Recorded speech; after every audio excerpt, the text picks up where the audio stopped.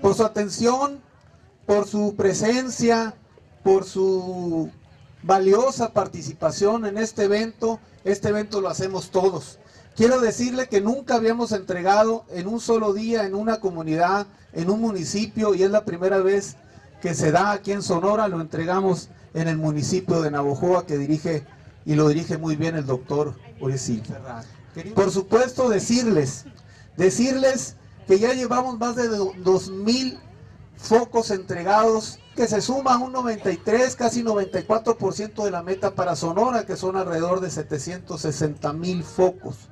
Y decirle que sí reconocemos, por supuesto, reconocemos y le damos el seguimiento a una instrucción que nos hiciera la gobernadora del estado, Claudia Pavlovich,